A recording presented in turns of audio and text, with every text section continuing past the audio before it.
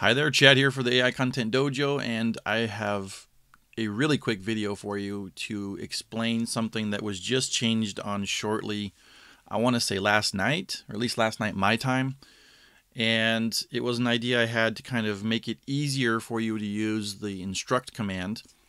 And luckily, they agreed and implemented it pretty much right away. And that's a testament to their ability to adapt and improve their product quickly. So, shout out to Shortly, good job, because this is super good and uh, I think people are really going to like it. And so, just really quick, you already know that uh, you can type out slash instruct, right? Like this. So, obviously, I'm here, I'm in Shortly right now, I just want to show you the new way, or it's actually just sort of an alternate way of using instruct but uh, you know, instruct is the new command in shortly that just kind of gives it superpowers that you know you really want to use it because it will bring you a lot more success in your writing. Uh, but you know, it maybe could become a little bit tedious for you to type out slash instruct every time. So what I asked shortly to do, and they agreed to do and implemented, is to make it so that you can highlight this text and perform instruct on the highlighted uh, text that you that you wanted to run on.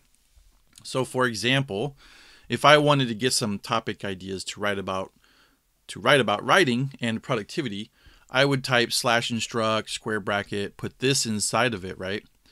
But now while you have it highlighted, if you hit command enter or control enter in Windows, if you have that highlighted when you do that, it's automatically going to wrap it in instruct and run the command.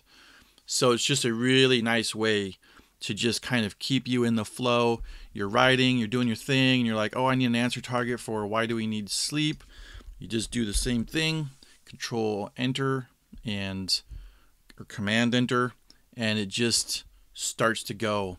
You know, maybe I need an outline for uh, the best tips for my writing career. Let's put that here. And now let's highlight and run the instruct on it. And it's going to hopefully create a decent little outline for me to work with. Okay, it's a good start. So that's the new way of using the slash instruct command inside of Shortly. I hope you uh, enjoy it. I hope you find it helpful that it's now tied to command enter or control enter so that you can just highlight what you want to run instruct on and let it go. So until next time, uh, take care.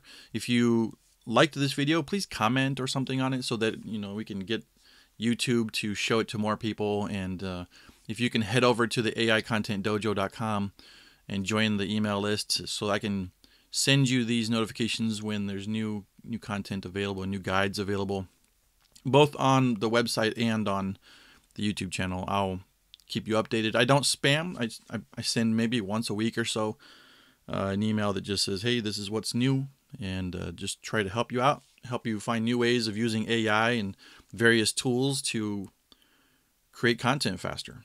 That's really it. All right, until next time, take care.